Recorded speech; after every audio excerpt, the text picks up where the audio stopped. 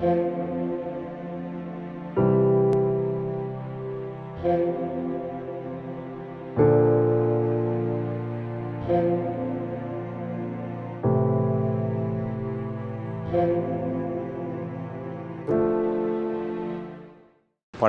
ഖബർസ്ഥാന് വേണ്ടി സ്ഥലം വാങ്ങാൻ ഖുറാന്റെ കുഞ്ഞു പതിപ്പ് യുവാവ് ലേലത്തിൽ വെച്ചു. തിരൂർക്കാട് സ്വദേശി റാഷിദ് തോണിക്കരയാണ് സ്വന്തം നാട്ടിലെ പള്ളിക്ക് ഖബർസ്ഥാനു വേണ്ടി സ്ഥലം മേടിക്കാൻ നിധി പോലെ താൻ സൂക്ഷിക്കുന്ന തീപ്പെട്ടിക്കൂടിനേക്കാളും ചെറുതായ ഖുറാൻ ലേലത്തിന് വെച്ചത്. നഗ്നനേത്രങ്ങൾ കൊണ്ട് കാണാൻ കഴിയാത്ത വിശുദ്ധ ഗ്രന്ഥത്തിലെ അക്ഷരങ്ങൾ കാണുന്നവർക്ക് അത്ഭുതമാണ്. കുഞ്ഞു ഖുറാൻ പതിപ്പ് നാടിനു വേണ്ടി വിട്ടുകൊടുക്കാൻ കഴിയുന്നത് ഏറെ സന്തോഷത്തോടെയാണ് ഇദ്ദേഹം കാണുന്നത്.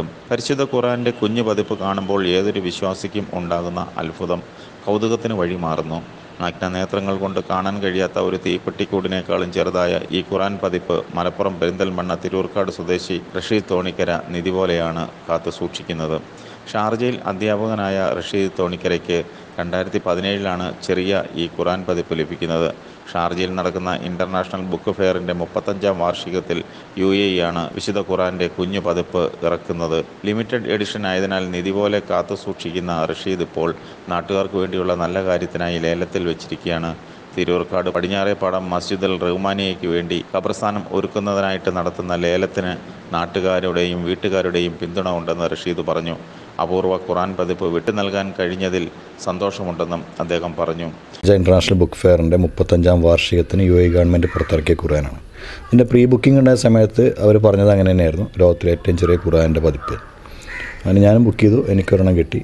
അതാണിത്. ഇത് കുറച്ച് കാലമായിട്ട് നാല് വർഷമായിട്ട് എന്റെ കയ്യിലുണ്ട്. പക്ഷേ ഇത് പുറത്തിറങ്ങിയിരുന്നില്ല. ഇപ്പോൾ ഇങ്ങനെ ഇവിടുത്തെ പള്ളിയുടെ ഒരു ഫണ്ട് റേസിങ്ങിന്റെ ഭാഗമായിട്ട് ഞാൻ പള്ളിയിലേക്ക് ഇത് ലേലത്തിന് വെക്കാൻ വേണ്ടി കൊടുക്കുകയാണ്. തീപ്പെട്ടിക്കൂടിന്റെ വലിപ്പമുള്ള വിശുദ്ധ ഖുറാനിലെ അക്ഷരങ്ങൾ കാണാൻ കഴിയില്ലെങ്കിലും വിശുദ്ധ ഗ്രന്ഥത്തിന്റെ പവിത്രത മനസ്സിൽ തെളിയിച്ചാണ് കുഞ്ഞു ഖുറാൻ കാണാൻ എത്തുന്നവർ മടങ്ങുന്നത്. അധ്യായങ്ങൾ മറിച്ചു നോക്കി പാരായണം ചെയ്യാൻ ശ്രമിക്കുന്നവർ നിരവധിയാണെന്നാണ് റഷീദ് പറയുന്നത്.